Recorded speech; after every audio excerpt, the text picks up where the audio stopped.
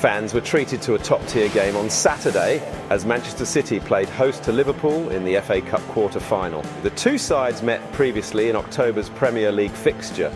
Uh, a nil-nil here at the Etihad, so both teams were eager to get on the scoring books and one up their opponents in this one. Martin Tyler, alongside Gary Neville and Jamie Carragher, were commentators on this fixture. I just wonder whether the volume is up a bit louder. It's certainly the sort of game to get the crowd cheering right from the start. Manchester City opened the scoring in the 12th minute as Erling Haaland netted to make it 1 0. Haaland, can he reach it? You bet he can! You bet he can! What a pass! We expect that, but now he's got someone on the end of it. The machine. Liverpool had their fair share of chances, but Ederson was squat in goal for City, stopping the oncoming attacks. Still. And still. What save. But that is a wonderful, wonderful save. Here's a top save he pulled off in the 20th minute. Still going, still there. And coming in. Oh, so, so close to punching back, as you said. Nevertheless, Liverpool were relentless, and five minutes later, Jordan Henderson scored this equaliser. The interception. Now a chance with some acceleration as well. Oh, what a goal! Well, wipe away all those statistics about never scoring here. Just put that to bed. Not scoring in an away Premier League start for over two years. He put that to bed in the most emphatic fashion. Accuracy. Indeed, the power and the accuracy were on full display here as well as Jordan Henderson nearly got his second of the game. And what a great strike that was. City weren't without their chances. Phil Foden missed a header from close range and Erling Haaland subsequently hitting the post. A lot of Manchester City's chances going the aerial route, it seemed. City opened the second half strong. They were the quickest to come out, but Liverpool had defending to match it, and City just couldn't find a way through. They probed and pushed, but weren't able to convert.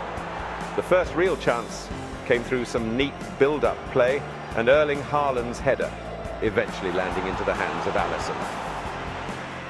But uh, City finally found a way through. Uh, Jack Grealish, uh, coming on quickly as a substitute, was clinical in the box to make it 2-1.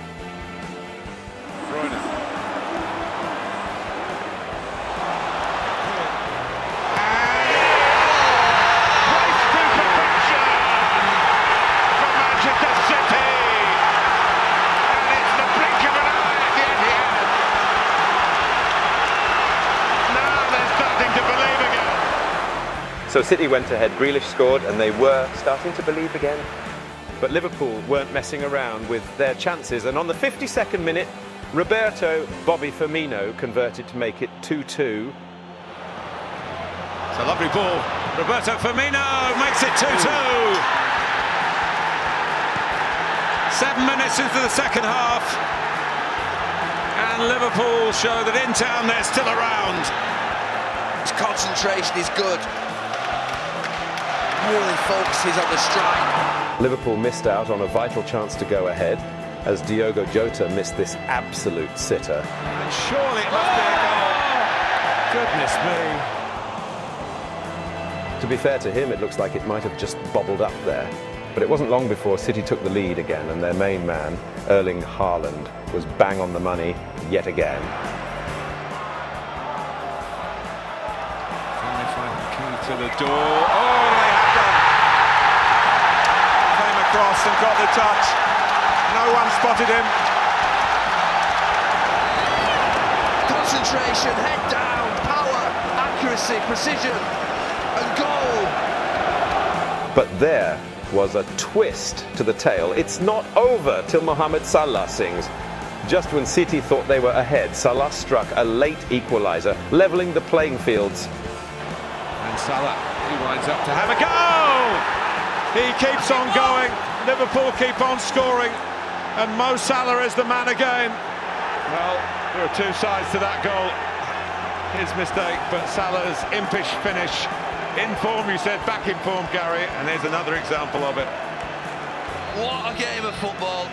It's the equalising goal, an extraordinary climax to a match that, by tradition, has uh, a lot of history for this kind of fixture. And so, goal after goal after goal after goal. Three, three. Enough goals for me, and I'm sure all the fans were satisfied. But it's not over yet. The second leg awaits at Anfield.